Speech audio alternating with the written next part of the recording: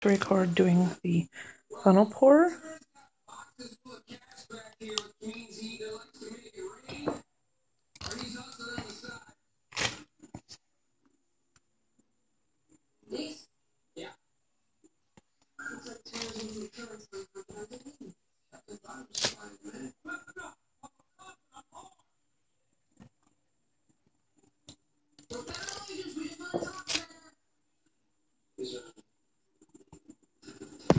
When this happens, you really only have about 20 seconds, or two minutes or so, I guess, to get all your soap poured before your soap hardens too much.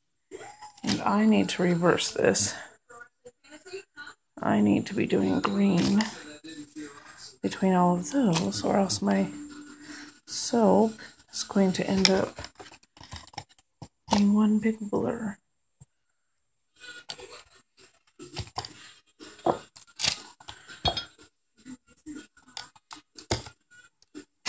Notice I was doing long strokes at first, and now I'm only doing light ones because, oops, I almost spilled there.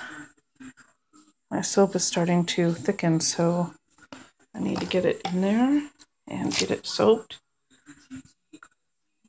There we go, let's do that. And then we're going to pour the last of the green right here. Uh-oh. Look at that. Looks like I got to uh, take care of it.